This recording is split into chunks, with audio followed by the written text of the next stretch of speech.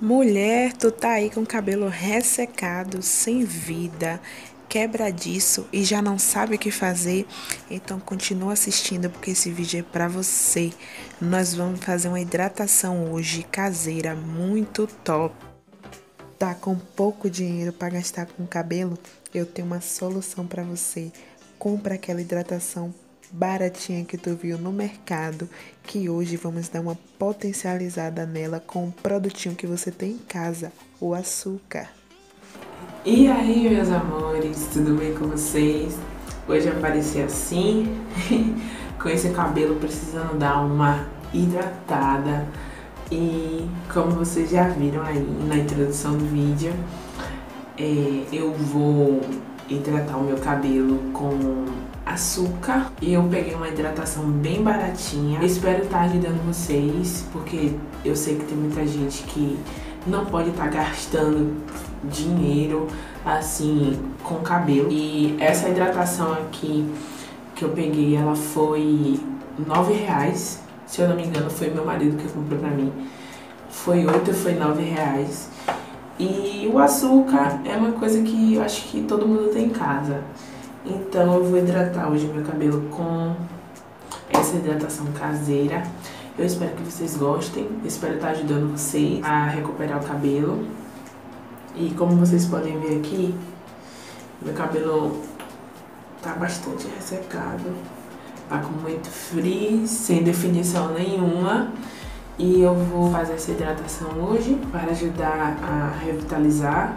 Eu já entupi ele de óleo passo antes de dormir. Então ontem, antes de dormir, eu taquei óleo nele pra ele dar um, uma revitalizada.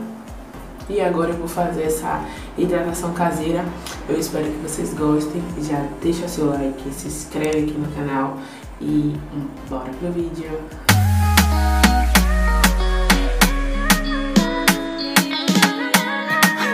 Como só tinha um restinho de hidratação, eu juntei o açúcar diretamente no pote e comecei a mexer para misturar a hidratação com o açúcar. Antes de passar a hidratação, eu lavei todo o meu cabelo com shampoo e aproveitei para passar a hidratação dentro do box mesmo, porque ela suja o chão um pouquinho.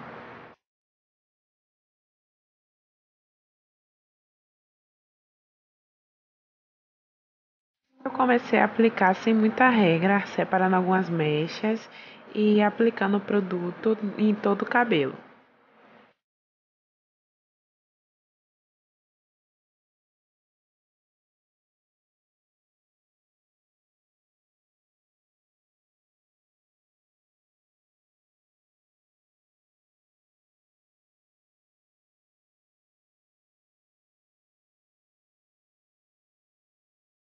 Aproveitei para dar uma desembaraçada nele.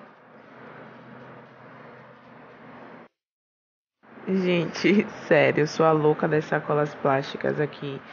Não deixo uma, sempre tô jogando lixinho fora. Então, o que eu achei foi esse plástico filme para poder colocar na cabeça.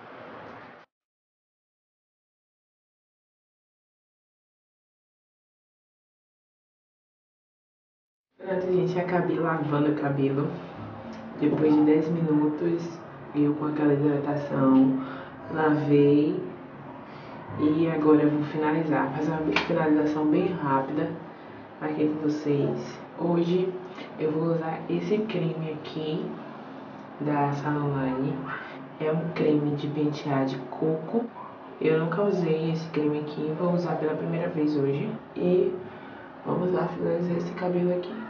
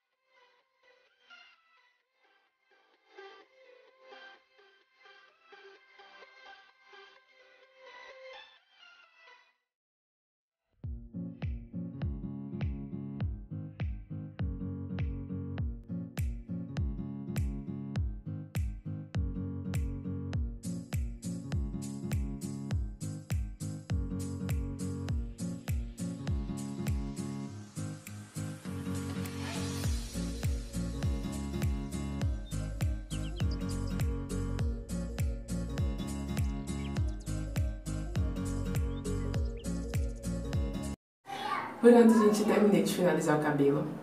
Eu disse que ia fazer uma finalização rápida, mas acabei lembrando do que uma inscrita falou pra mim, que era fazer bastante dedo lis para o meu cabelo memorizar os cachos. Então eu acabei fazendo dedo lis e agora eu vou esperar secar e volto pra mostrar pra vocês, tá?